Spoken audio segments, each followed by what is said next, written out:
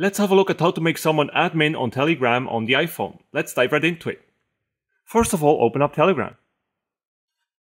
Then at the bottom make sure that chats is selected and then tap on the group in which you would like to make someone an admin. Next tap on the profile picture in the upper right corner of the screen.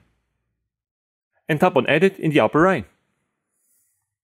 At the bottom you will then see administrators. Tap on it.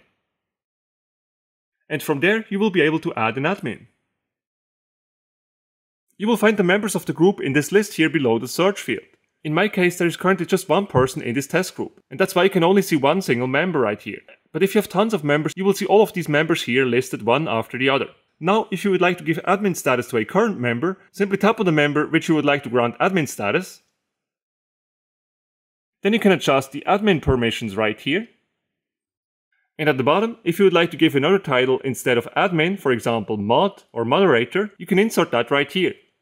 Once that is all set, in the upper right corner of the screen, tap on Done. And you have now successfully promoted this person and this person is now a group admin. Now you can also make someone an admin in a Telegram channel. It actually works in almost the same way. Let me demonstrate. First of all, open up the channel in question. Then tap in the profile icon in the upper right. Then tap on Administrators. Select Add Admin. And then using the search field on top here, you can search and find subscribers of your channel and then make them admins. On top of that, in this search field here, you can actually also search for contacts from your contact list that are currently not yet subscribed to your channel.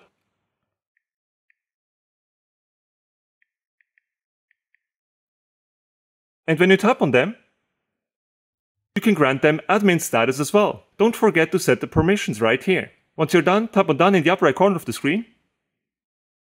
And this person is now an admin in my Telegram channel.